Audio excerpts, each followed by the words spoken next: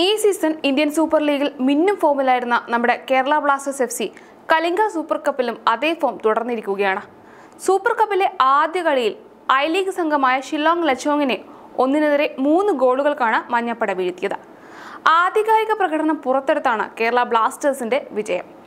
ഇനി വരാനിരിക്കുന്ന മത്സരങ്ങളിൽ ഈ ജയം നൽകുന്ന ആത്മവിശ്വാസം കേരള ബ്ലാസ്റ്റേഴ്സിന് കരുത്താകുമെന്നതിൽ ഒരു സംശയവുമില്ല. കലിംഗ സൂപ്പർ കപ്പിൽ ഗ്രൂപ്പ് ബിയിലാണ് കേരള ബ്ലാസ്റ്റേഴ്സ് കളിക്കുന്നത്.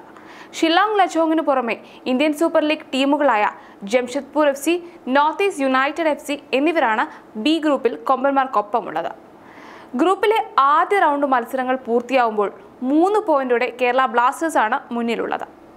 ആദ്യ കളിയിൽ നോർത്ത് ഈസ്റ്റിനെ തോൽപ്പിച്ച ജംഷഡ്പൂർ എഫ് സിക്ക് മൂന്ന് പോയിന്റ് ഉണ്ടെങ്കിലും ഗോൾ വ്യത്യാസത്തിൽ അവർ രണ്ടാമതാണ്. നിലവിലെ ഫോം തുടർന്നാൽ ഇവാൻ വുക്കുമനോവിച്ചിന്റെ ടീമിന് സൂപ്പർ കപ്പ് കിരീടം നേടാനാകുമെന്ന് തന്നെയാണ് മഞ്ഞപ്പട ആരാധകരുടെയും പ്രതീക്ഷ. എന്നാൽ അത് ഒട്ടും എളുപ്പമാകില്ല എന്നതാണ് യാഥാർത്ഥ്യം. സൂപ്പർ കപ്പിൽ കിരീടം നേടുകയാണ് ലക്ഷ്യമെങ്കിൽ ഇനിയുള്ള ഓരോ കളിയെയും ഒരു ഫൈനൽ എന്ന പോൽ കേരള ബ്ലാസ്റ്റേഴ്സ് സമീപിക്കേണ്ടിയിരിക്കുന്നു. ഒരു ചെറിയ പിഴവ് ടീമിന്റെ സെമി ഫൈനൽ പ്രതീക്ഷകളെ പോലും ബാധിക്കും.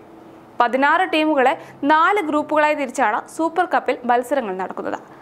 ഗ്രൂപ്പ് ഘട്ട മത്സരങ്ങൾക്ക് ശേഷം നേരിട്ട് സെമി ഫൈനലാണ് മറിച്ച് പ്രീ ക്വാർട്ടറോ ക്വാർട്ടർ ഫൈനലോ ഇല്ല. അതായത് നാല് ഗ്രൂപ്പുകളിലും ഒന്നാം സ്ഥാനത്ത് ഫിനിഷ് ചെയ്യുന്ന ടീമുകൾ നേരിട്ട് സെമിയിലേക്ക് യോഗ്യത നേടുന്ന തരത്തിലാണ് ടൂർണമെന്റിന്റെ മത്സരക്രമം. ഗ്രൂപ്പിലെ രണ്ടാം സ്ഥാനക്കാരായാൽ പോലും ടൂർണമെന്റിൽ നിന്ന് പുറത്താകുമെന്ന് ചുരുക്കം.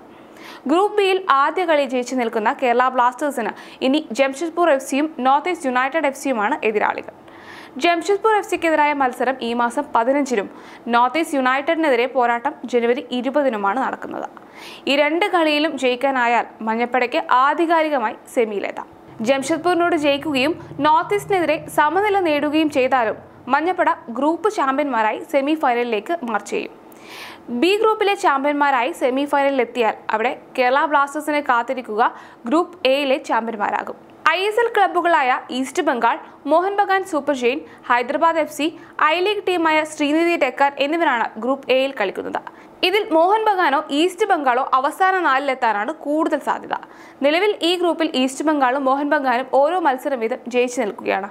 എന്തായാലും സൂപ്പർ കപ്പ് കിരീടം ബ്ലാസ്റ്റേഴ്സ് ഉയർത്തുമോ എന്ന് കാത്തിരുന്ന് കാണാം.